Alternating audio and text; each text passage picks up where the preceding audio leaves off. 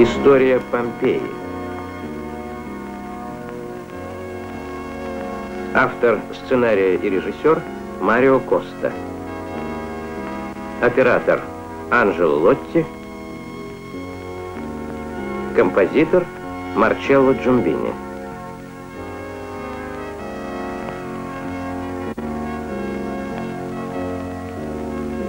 Таким был этот город две тысячи лет тому назад. Впервые имя Помпей упоминается римским историком Ливием в рассказе о событиях 311 года. Мы не знаем, когда у подножья потухшего вулкана Везувия был основан город. Предполагалось, что он назван в честь рода Помпеев. Город начался строиться сразу, постепенно он разрастался и становился все прекраснее.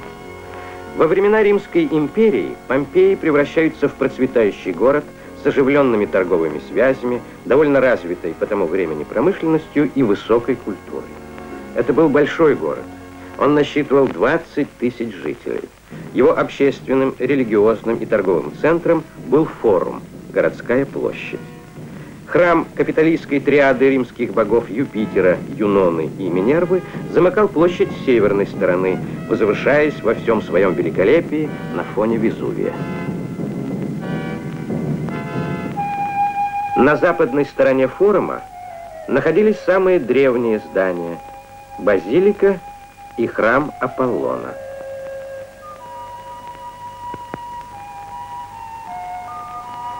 Во втором веке до нашей эры в Италию проникают с востока мистические культы, среди которых только культ египетской богини любви и плодородия Исиды был официально узаконен, и для него разрешалось строить святилища. Таков небольшой храм Исиды в Помпеях, сохранившийся до наших дней. Неподалеку от форума находился храм, построенный по приказу Думвира Марка Туллия. Слева видна триумфальная арка, украшенная бронзовой статуей императора Калигулы.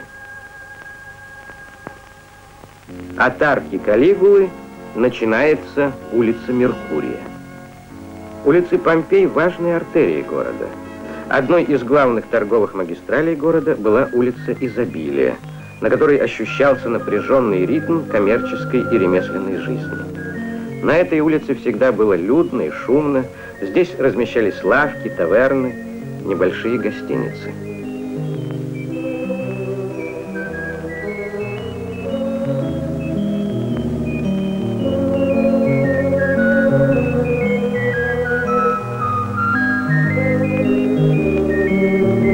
Одной из основных отраслей хозяйства города была выпечка хлеба. Хлебопекарни снабжали все местное население и окрестные деревни.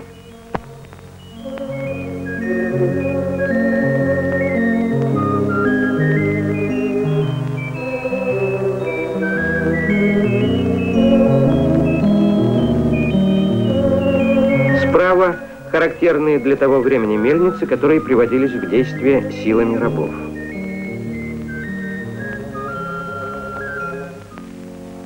На юго-западной стороне форума к центральной площади примыкает здание базилики.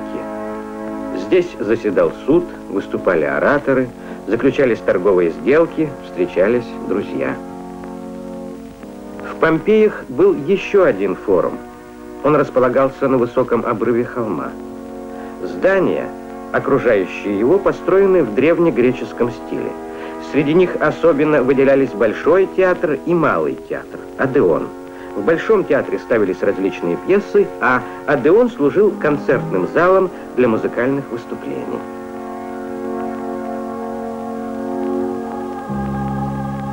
За чертой города вдоль дорог находились роскошные виллы. Среди них вилла Мистерий. Она насчитывала 60 различных помещений. Внутренний сад был размещен на квадратной террасе.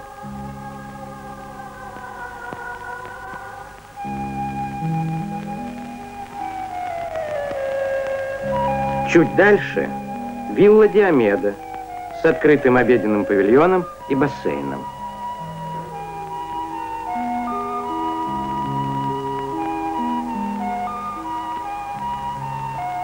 Большой интерес представляют жилые дома, где протекала повседневная жизнь горожан, знатных патрициев, ремесленников и торговцев. Это дом Патриция Анкора. Дом аристократа Публия Суллы, известный под названием Дома Фавна, из-за бронзовой статуи танцующего фавна. Ансамбль дома занимал целый квартал. Дом фавна украшали скульптура, мозаика и росписи. Отдельные помещения предназначались для женщин, детей и служанок.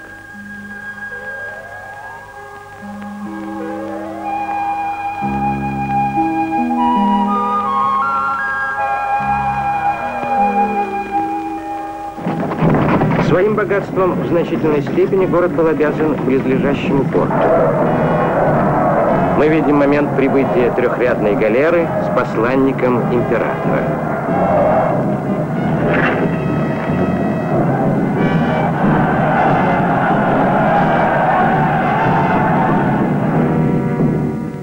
Громада Помпейского амфитеатра, вмещавшего 20 тысяч зрителей, возвышается на просторной площади.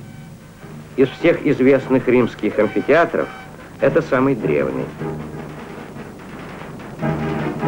Любимым развлечением зрителей были бои гладиаторов.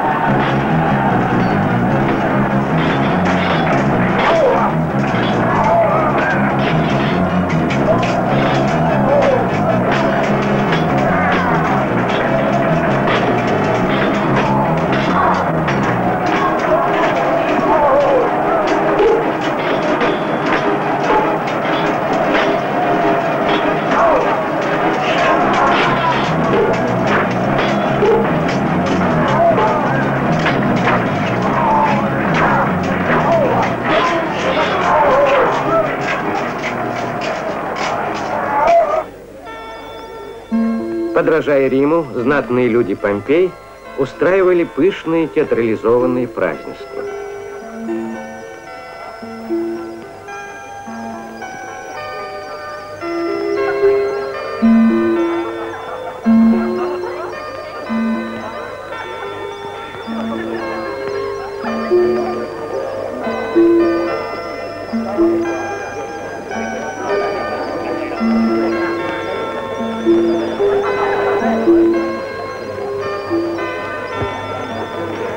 Утром 24 августа 79 года нашей эры подземный толчок, сопровождаемый оглушительным грохотом, потряс землю. Это проснулся Везувий.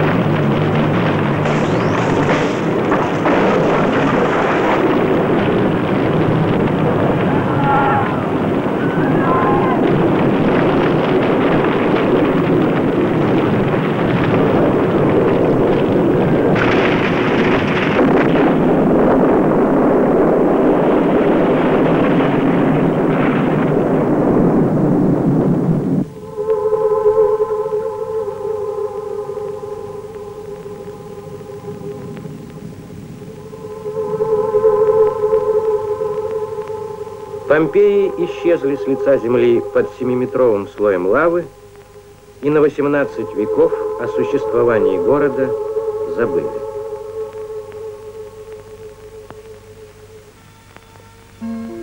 Первые раскопки погребенного города начались в 1748 году. Постепенно Помпеи освобождаются из каменного плена. Археологи вернули потомкам облик древнего города. Пройдем по его улицам, зайдем в дома, таверны, бани и театры и еще раз перенесемся в далекое прошлое. Начнем наше путешествие от морских ворот.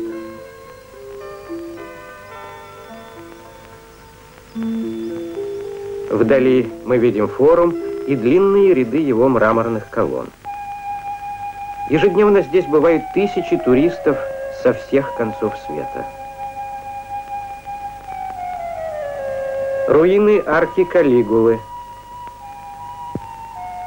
В передней части форума колонны портика и пьедесталы, на которых стояли статуи императоров Августа, Клавдия и Нерона.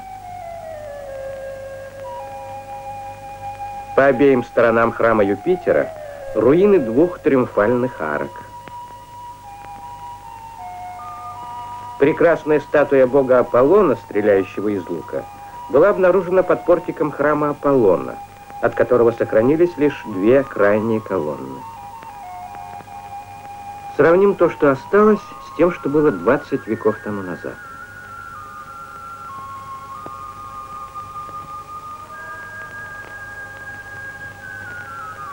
От дома Панцы сохранился лишь внутренний сад, украшенный колоннадой. Это руины здания трибунала, где в те времена около огромной статуи Августа собиралась судейская коллегия.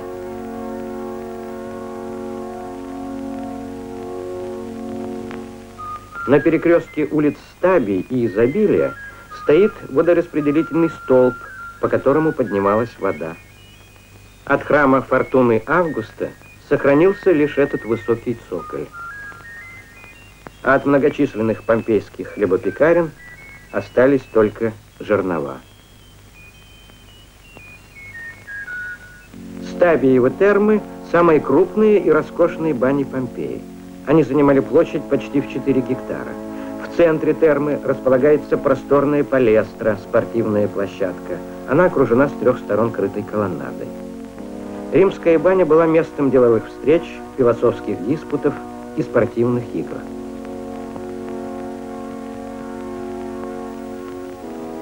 Вид города сверху.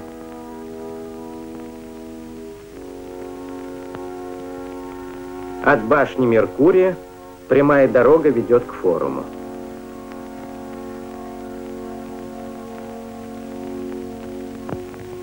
Мощенная дорога с высокими панелями. Это знакомая нам улица Изобилия. Дома Фавна остался водоем и статуя танцующего фавна. На втором плане колонны внутреннего сада –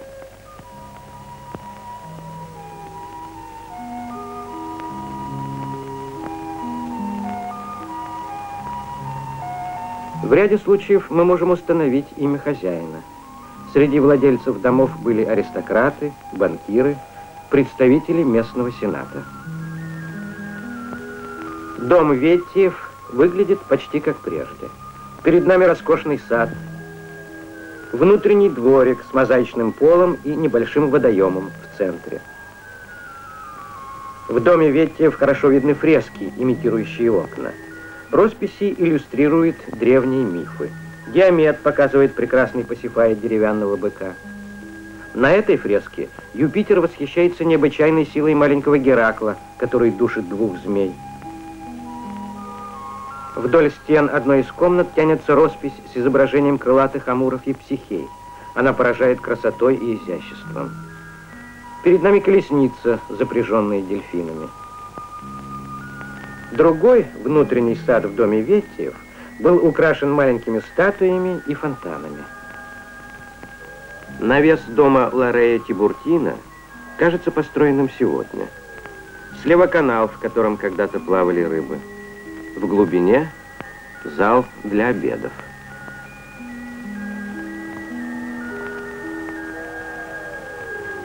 Полностью сохранился внутренний сад дома золоченых амуров. В саду и сейчас множество маленьких ценных статуй и барельефов.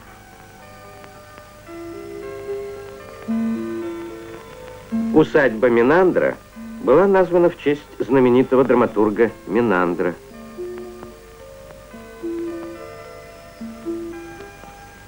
Портик в доме Юлия Феликса украшен четырехугольными колоннами. Изящные колонны, но уже цилиндрические, встречают нас во внутреннем дворике городской виллы, расположенной на улице Изобилия. Схватка диких зверей. Роспись в доме Цея Секунда. В гостиной дома Лукреция Фронтона мы видим портрет семьи его хозяина с фигурами Венеры и Марса. Настенные росписи, очищенные от пепла, главное сокровище виллы Мистерий. На стенах зала изображены ритуальные сцены культа Диониса, бога виноградарства и виноделия. Действие развивается на фоне красных стен, расчлененных черными пилястрами. Великолепно передана иллюзия движения, поражает чистота, многообразие и яркость красок. Множество фонтанов – украшали внутренние богатых домов. Трубы фонтанов скрывались в мраморных и бронзовых фигурках вакхов и амуров. Эти слепки выполнены из гипса, залитого в образовавшиеся пустоты. Они с абсолютной точностью передают позу человека или животного в момент смерти.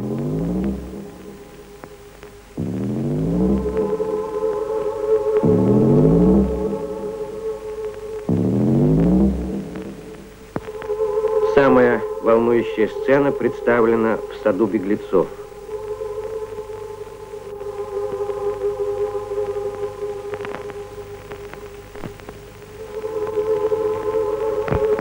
Знаменитая дорога гробниц. В Помпеях, как и в других античных городах, умерших хоронили за чертой города вдоль дорог. Руины театра Пикколо. Здесь хорошо видны места для зрителей. От театра Гранде сохранилась лестница и передняя часть сцены. Площадку для прогулок зрителей в перерывах окружала колоннада. Недалеко от амфитеатра располагалась гимнастическая площадка для тренировок молодых спортсменов. По лестнице амфитеатра мы сегодня можем подняться и взглянуть на арену, где когда-то проливалась кровь гладиаторов.